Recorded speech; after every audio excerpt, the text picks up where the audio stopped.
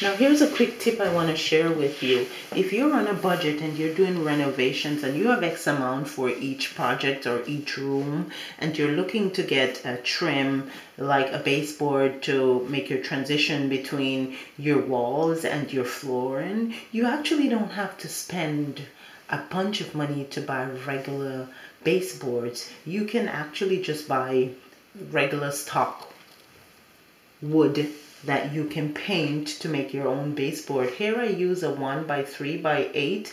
It's just about 2 bucks for the 8 feet and I just used a little paint and uh, just a tone down from the paint that's on the wall and I think it finishes off the room nicely actually. So especially if you're renovating like a bedroom or even decor in a farmhouse or a country house you don't necessarily have to go for the quote-unquote trims that are sold because they can get very pricey. So try this go for regular stock decide decide on the width that you want I have just about under eight feet ceilings and I didn't want my baseboard to be loud. I just wanted to create a calm transition between the flooring and the walls. So if you have a higher ceiling, you might want to go for a wider stock. Here, I didn't need it, so try.